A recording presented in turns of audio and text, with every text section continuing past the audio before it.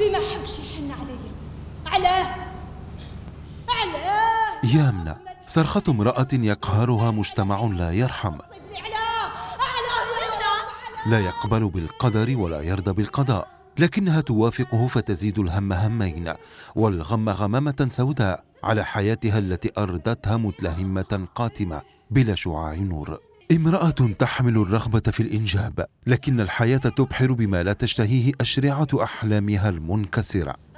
حاسه به أنا عميه راني حاسه به أمام أعين وألسنة الجيران تفتح نوافذ جهنم على المرأة الوحيدة لكنها في لقاء زوجها تترجاه أن يرأف بحالها ويرضى بأن يكون في حياتهما طفل طفل واحد.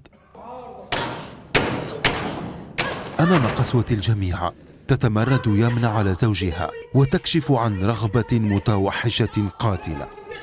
تقاوم تيارا يجذبها بإلحاح للخطيئة وتقبل بخطيئة العرافات قادرة تجيبي زوج توافي ضربة واحدة. الزوج!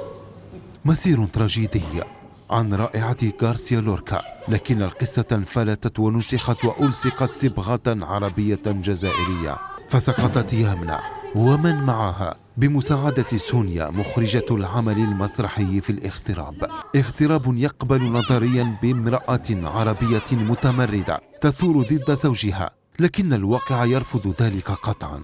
العين عدوة وأنت لحقاتك المرأة العاقرة يعني حاجة موجودة عندنا والمرأة مسكينة كي تكون ما عندهاش دراري ياك على بالك ال- ال- ال- لا سيتواسيون تاعها في المجتمع تبقى حاجة حاجة با انفي كما يقولوا.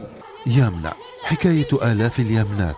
إحنا مرة تقتل راجل مع المسرح هاي صبت. هاي الكلمة قتلاته إحنا الراجل كي تقول كي تقول له عاقر واعرة. آه، سورتو هذاك بكري شغل بكري الراجل فحل.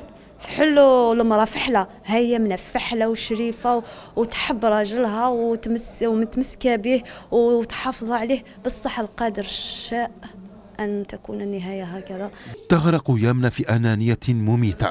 تفجر الوحش الذي بداخلها فتخسر نفسها وتطعن من أحبها بكلام أحد من خنجر قاتل. زوجي أنت عاقر